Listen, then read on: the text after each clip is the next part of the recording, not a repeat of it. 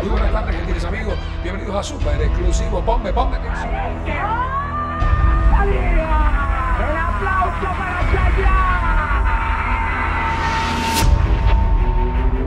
La Comay era un programa de entretenimiento en el que tenías a Maripiri, tenías al gobernador, tenías a los candidatos y otras herramientas, como un gran reality show.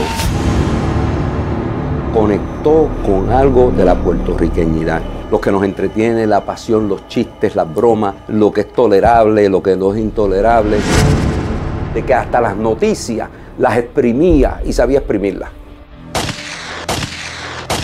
Hicieron una fórmula ganadora. El programa número uno local de la televisión puertorriqueña durante los últimos 12 años. El sentirse tan poderoso a que se embriagara de poder y que no midiera consecuencias en algunas cosas que hizo. Pero la pregunta es, ¿se buscó esto? Este señor José Enrique Gómez Saladín.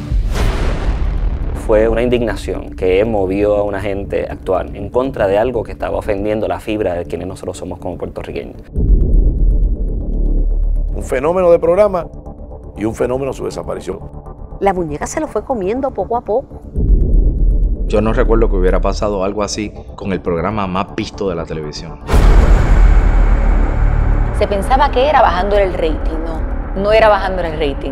Las agencias de publicidad dejaron de pautar. Eso fue mucha presión para Guapa.